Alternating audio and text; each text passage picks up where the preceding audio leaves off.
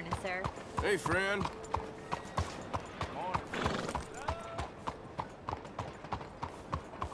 Hello? Excuse me, Hey, do I know you? Mr. Well, I believe we've met We have? at that ghastly party. Oh, Evelyn Miller.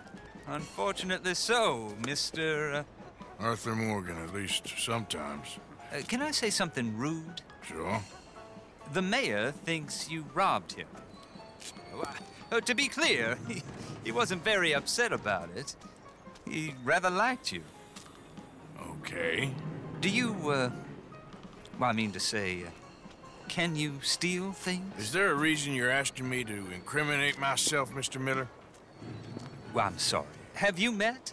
This is Rains Fall, a great chief, and his son, Eagle Flies. Gentlemen? Yeah, we saw you in the wagon train crossing the river at Cumberland Falls.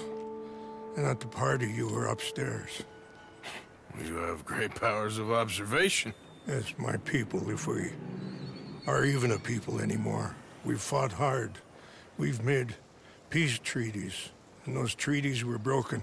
And we've been moved and punished and punished and moved. I'm sure. And now I am told we are to be moved again. Clearly contravening the peace treaty signed three years ago. This will lead to war. No, my son, it will not. We cannot fight another war. They have got stronger, and we have become far weaker, Mr. Morgan. Well, it's uh, bad business. It's to do with oil. I know it is, but I need the proof. I believe there were some prospectors who were on their land a few months ago who have filed reports with Leviticus Cornwall and the state government claiming huge reserves of oil under their land. So, you want me to try and steal it? Obviously, they can't. and even more obviously, I would be useless. Listen, I realize that it is a ridiculous request, but we're very desperate. Now, I'm not a do-gooder, Mr. Miller. Gentlemen, I'm very sorry for your predicament, but I'm a working man. I got problems of my own. We will pay you very handsomely, Mr. Morgan. How much? I told you, they're all mercenaries.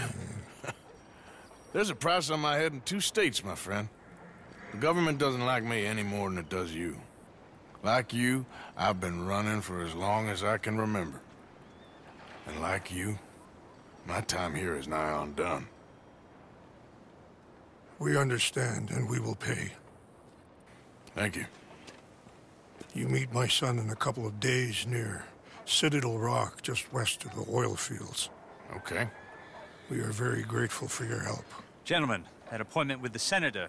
We should head over there. it's a waste of our time. And his. We must try everything. Come along. Hello, Mr. Miller. The counselor wants to apologize. He can see you now. We've been waiting I don't know how long. Or next month, if you'd like to reschedule. Come. Perhaps the senator won't mind waiting. Yeah.